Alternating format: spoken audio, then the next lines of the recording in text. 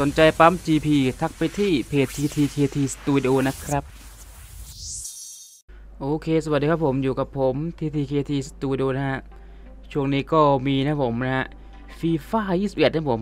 มี trailer ออกมาให้ดูกันแล้วนะฮะ แล้วก็สามารถ pre-order สั่งซื้อล่วงหน้าได้แล้วนะสำหรับ FIFA 21 นะฮะ นะผมประมาณนี้นะฮะ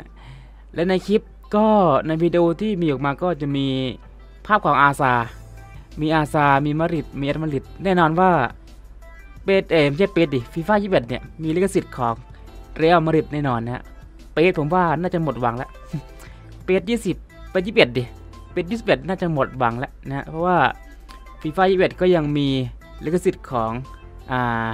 มาดริดอยู่นะครับผมนะฮะอันนี้เป็น trailer นะนะเป็น trailer ของ FIFA 21นะผมส่วนของ PES 21เนี่ยจะมาช่วงไหนนะ ของ FIFA เขาจะเปิดตัวในวันที่ในวันที่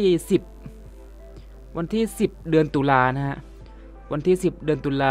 2020 นะครับผม ส่วน PES 21เนี่ย ยังไม่มีอะไรมาให้เห็นเลยนะ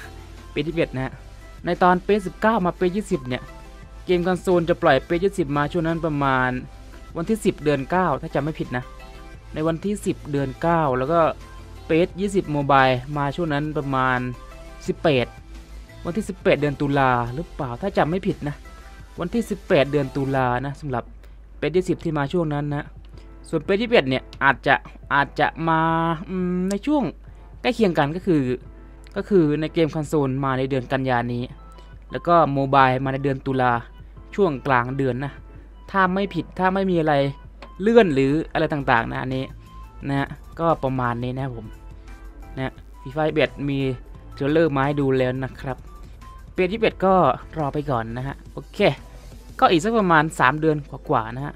สำหรับเปยี่เบ็ดอีก 3 เดือนกว่าๆนะ ก็รอกันไปนะผมอีกนานฮะสามเดือนนาน เล่นกันจนเบื่อนะฮะสามเดือนเนี่ยนะผมโอเคนะผมวันนี้ก็ต้องไปก่อนนะฮะใครจะปั๊ม GP ก็ทักมาในเพจนะครับผมยังไงก็ฝากกดไลค์กดติดตามกดแชร์และกดกระดิ่งด้วยนะฮะ